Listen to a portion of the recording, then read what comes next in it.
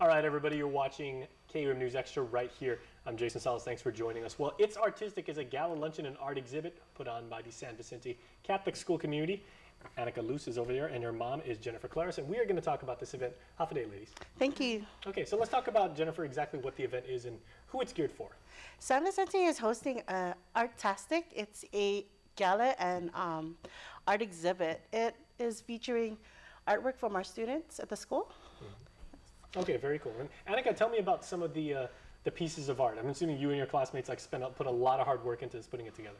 Yeah, we did. Ever since the beginning of the school year, our art teacher worked really hard with us, and even the younger grades, even though they have a different teacher. And yeah.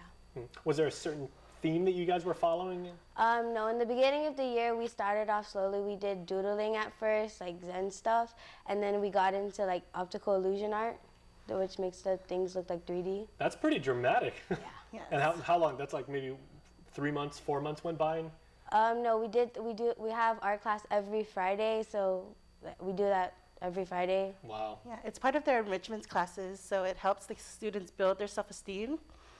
You guys went from doodling to 3D modeling in, in four months. That that is very very enriching, I would say, and and certainly worth worth supporting and everything. So, what did the funds raise from this? What did they go to support? Um, they're going to be going towards um, the purchase of consumable school supplies, such as workbooks for the students, as well as um, establishing a tuition scholarship, as well as um, other operation expenses. Very cool. Uh, now, Annika, what uh, materials are you guys using to create your art? Is it like a? Are you guys painting only? Is it like sketches and? Well, some of us are using like markers and stuff, but we also have ones from our photography class.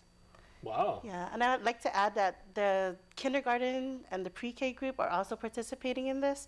So they have abstract art. They use different kinds of um, oil pastels and acrylic paints.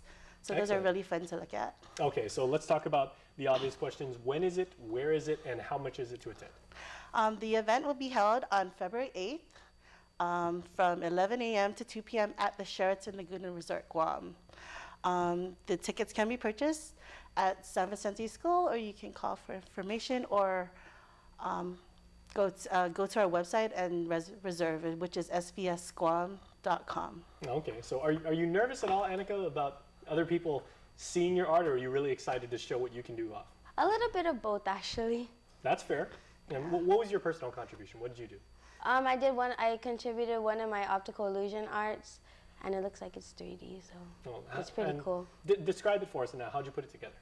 Well, at first, in the begin, we just draw a line, and then you start from there. Like you put circles on the on the line, and you connect the circles.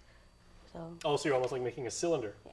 Oh, very cool. Kinda. I've been trying to do 3D art for 18 years, and I've still not been able to get it. So, hats off to you. You're, you're off to a fine career. So, um, is there anything in closing that you'd like to add? Um, I'd like to thank our sponsors, which are Bank of Guam, ERC, International Distributors, Cars Plus, Guam Memorial Park, uh, Dr. Jose and Teofila Cruz, and Gomamami. And I'd also like to mention that this um, art exhibit was in, um, sponsored in part with a grant from the Guam CAHA.